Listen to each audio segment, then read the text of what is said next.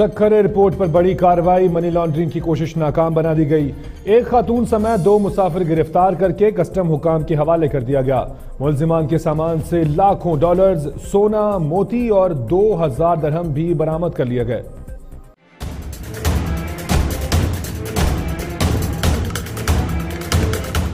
ASF ने Sukkur airport पर खातून समेत दो मुसाफिर गिरफ़्तार किए हैं, जिनसे चार लाख पचास हज़ार डॉलर बरामद हुए। खातून मुसाफिर से पाँच किलो सोना 200 ग्राम मोती और दो हज़ार दिरहम भी बरामद हुए हैं। एएसएफ जराये ने बताया कि तलाशी पर मालूम हुआ, मुसाफिर मोहम्मद इस्लाम और खातून अनाहिता सोहराब ईरानी ने बैग में गैर मुल्की करेंसी छुपा रखी थी। दोनों मुसाफिर पी के फाइव थ्री वन ऐसी कराची जा रहे थे। कराची पहुँचने के बाद दोनों ने बैरून मुल्क सफ़र करना था। एएसएफ ने दोनों मुसाफिरों को मजीद कार्रवाई कार्रवाई के लिए कस्टम हुकाम के हवाले कर दिया है।